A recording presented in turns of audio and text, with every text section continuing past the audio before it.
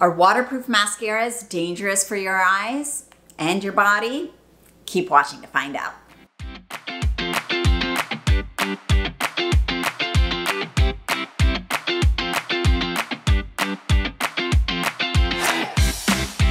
Hello everyone, I am Dr. Rupa, board certified ophthalmologist, and on this channel we talk about eye health, eye surgery, and my passion, which is eye makeup health. And that's what we're talking about today we are looking at waterproof mascaras. Now, for years, I've never liked waterproof mascaras, and mainly the reason was because they're so difficult to remove. The amount of traction and force you need to put on the lashes to remove the waterproof mascara or waterproof liner usually causes a lot of lash loss. It can cause dermatitis of your eyelid skin, and it can cause creping. So Personally, I've never recommended them and I don't use them. But even worse is a new study that just came out from Notre Dame, which showed that 82% of waterproof mascaras have PFAS. What's PFAS? PFAS stands for polyfluorotetraethylene. And there's a big group of chemicals that fall under the category of PFAS, but that's one of them. And it's a chemical compound that's used in makeup to make it more spreadable, to make it more durable, and to make it water resistant or waterproof. You'll also find PFAS in a lot of different types of products all around your home. Teflon, non-stick cooking utensils and cooking pans, waterproof sports equipment. In the wrappers for a lot of food packaging items, ones like hamburgers and those kind of things where they want it to be waterproof, there's PFAS in those. Um, even in the gowns that we use for scrubbing for surgery, since we want those to be water resistant. So it's in a lot of different things. So it really stands to reason that about 97% of us have PFAS in our blood serums. Now, what's the big deal about it? Problem is, it's a toxic chemical. It contains fluorine and they call it the forever chemical. And the reason they call it the forever chemical is because it stays around in your body and in the environment for decades. It's very hard to get rid of. It's very hard to break down. Now, there have been a lot of environmental studies that have examined the effects of PFAS on humans, but that's typically when you're ingesting it, when it's an environmental pollutant. And there has been a correlation with infertility, with kidney issues, liver damage, thyroid dysfunction, and even cancers. They've also done research and studies in laboratory animals examining the effects of PFAS in really high concentrations. And it causes those similar types of medical issues, as I just mentioned before.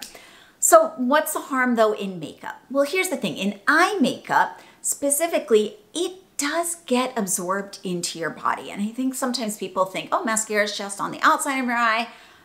How is that really going to affect? Well, mascara does get into your tears and your tears drain through the nasal nasolacrimal system down into your nose and they can be absorbed systemically. Now, there's no safe amount of PFAS, so we don't exactly know what's a dangerous amount, but studies are still pending on all of that kind of information. But if you want to be safe, it's something just to avoid completely. And they even found that 58% of other eye makeup products like liners, creams, and shadows had PFAS. All right, so then it should be easy to figure out, right? It should be listed on the ingredients of the mascara or last liners. Unfortunately, no. And here's the thing. The reason that it's not listed is because sometimes there are some chemicals which then break down to form PFAS, and so PFAS is not actually listed as an ingredient. Also, there's a general category, so they might just say methicone, and it's actually this specific type of methicone which can have fluorine in it. So there's a lot of different ways that PFAS can be in your makeup and you not even know it. So actually 28 of the 29 products tested in the Notre Dame study did not have PFAS listed as one of the main ingredients or as an ingredient at all. So that's really concerning because many of us likely depend on looking at that ingredients list. You know that I do. I sit here and read it out loud when I'm doing videos to examine what we're putting on our eyes. And if it's not listed and the manufacturers are not required to disclose it, how do we know? And that's really why there's a lot of legislation going on right now to prevent cosmetics from having any of these ingredients. Again, they just make the ingredients long lasting and long wearing. And I know personally, when I was wearing a mask all the time, I would wear long wearing lipstick so it wouldn't get on the mask. And they found the highest incidence in the mascaras, as I mentioned, but also in lipsticks and foundations as well. So it's not just in eye makeup. So names that you can be on the lookout for on your ingredient list. I'm just gonna read them out to you so you can take a look. Um, polytetrafluoroethylene, as I mentioned before, perfluorooctyl, triethoxysilane, perfluorononyl dimethicone, perfluorodecalin, and perfluorohexane. So a lot of the pers, but again, there's ways that you can have the PFAS in your makeup and it doesn't have that specific ingredient listed.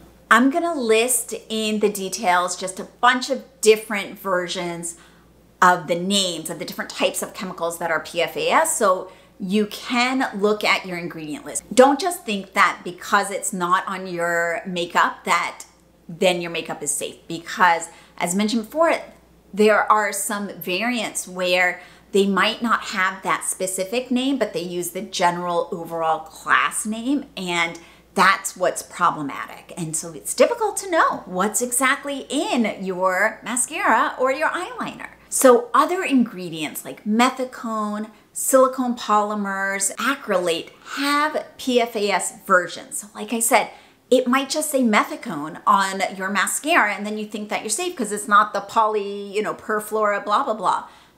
You're not safe because they might just use that general term, but the PFAS version is the one that's in your waterproof mascara. And I don't want you to think that all of these manufacturers are behaving in a really despicable way and adding these you know, toxic chemicals knowingly.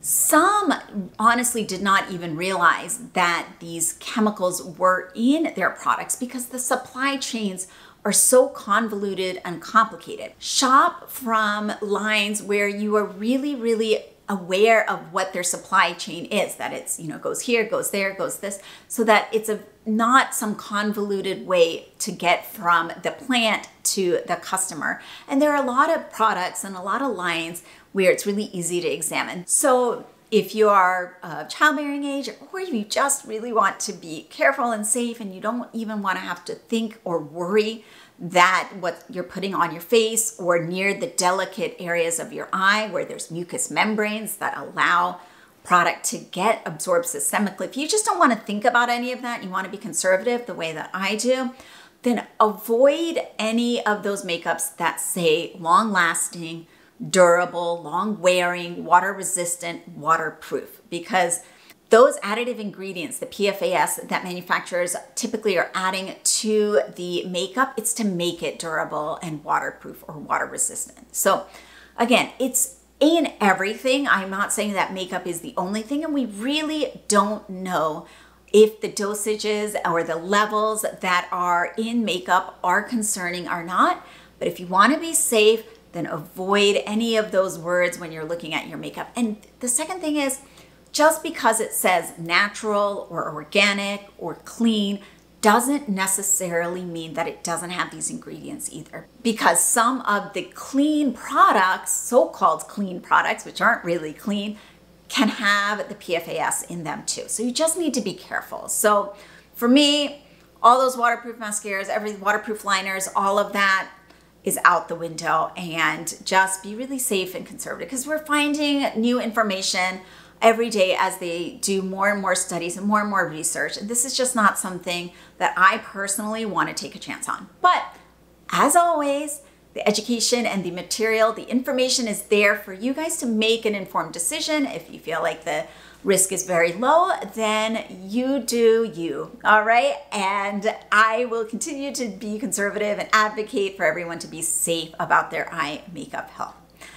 All right, guys, I hope this was helpful for you. I'm not trying to fearmonger at all. I just wanted to bring to your attention this new study, which I thought was super interesting and super important for everyone that's a makeup lover like myself to be knowledgeable about. Please hit like, subscribe, follow, everything. I would love it if you do. It helps me make sure that I'm making content that you guys are enjoying and that is resonating with you. And until next time, I am Dr. Rupa. Bye bye.